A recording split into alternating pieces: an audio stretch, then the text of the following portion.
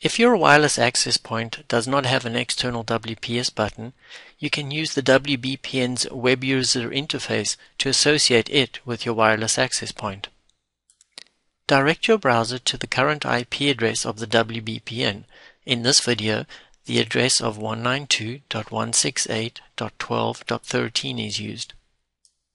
Log into the WBPN with the default credentials of Cisco, Cisco.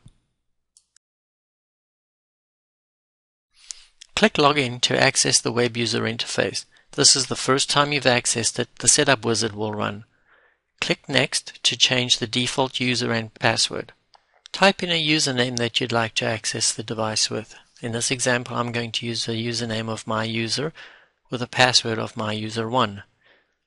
Type the password in again to confirm it, and then click Next. In step 3, you can configure the device to use a static IP address or a dynamically assigned IP address. Click Next to configure the wireless LAN settings.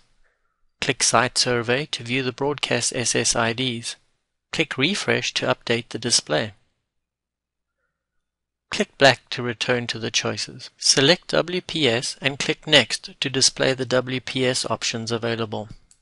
There are three WPS options available to you. You can configure using the device's uh, own PIN number. You could use the PIN number of the um, access point, or you can use the push button configuration. I'll demonstrate using the push button configuration by accessing my Cisco Services Ready platform. I'll log in as the administrator, and then I'll navigate to the WPS configuration page.